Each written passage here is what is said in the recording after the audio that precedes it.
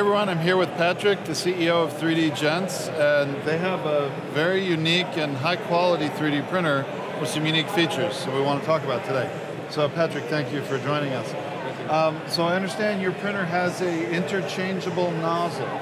Yes, this is one of the features which makes our printer unique in the market. So uh, in order to meet uh, customers' uh, needs to make life e easier, uh, we invented a changeable nozzle, which is like a press of a button.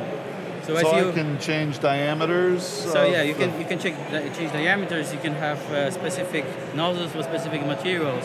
You can have a whole set of, of different nozzles. Uh, so you can, you can you can play around with them.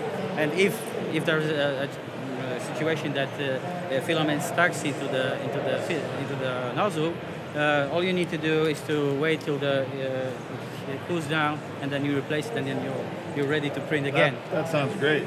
I understand you also have a ceramic bed, and that seems to offer some uh, improvements. Uh, yes. Can you share that with us? Yes, there are like some hidden improvements inside. So uh, first of all, it's a structure we are getting from from having a ceramic, which is uh, which is really really really nice, really uh, smooth.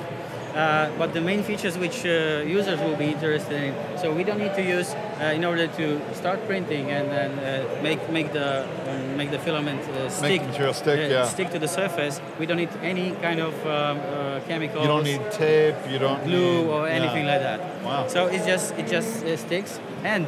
The other, the other cool feature is once we finish, once we finish the the print, we just wait till the heat bed cools down, and we just take it out without. So once the damaging. ceramic cools, it just comes off very yeah, like, easily. Like, like exactly from this table, you take it out, and that's it. Wow. I've had a hard time removing some prints from uh, some beds in the past.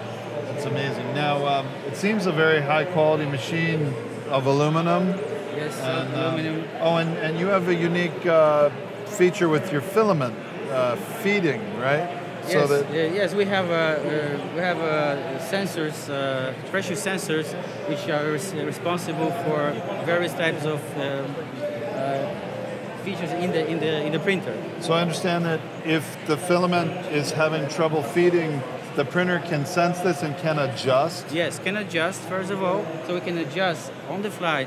We can adjust the, the amount of filament that is, uh, is given by the extruder. And the machine does that automatically? Yes, machine does it automatically. That's this great. is the first thing. But the sensors also are responsible for the auto calibration.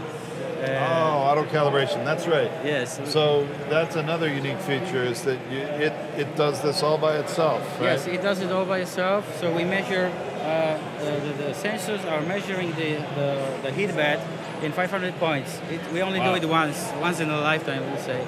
Uh, and uh, it creates a digital map of, of, the, of the structure because sometimes the, the, the ceramic cannot be, might be, uh, might be stretching from the, from the heat. Mm. So we created uh, the map, we store it in the EPROM, in the memory of the, of the printer, and then we also use it for the auto calibration on the flight when you, during the print. Wow. So you always have the same same uh, uh, distance from the from the uh, nozzle to the to the print actual printout. Well, it seems to be a very high quality printer. Now, this is made in Germany?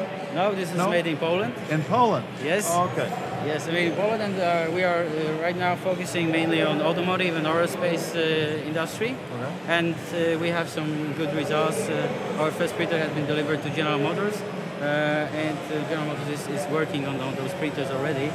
Uh, so you, you're distributing them in the U.S. now? So yeah, this is our first first mm, exposure in the, in the U.S. right now we are we will be establishing an office. We already have an office in San Francisco in Rocket Space, uh, and ultimately we will be probably bringing also the uh, production to to US. Really? Wow. so great. That's how it is. Well, it's a very impressive looking printer and, and seems to have some great features. So uh, good luck to you. I hope it does well.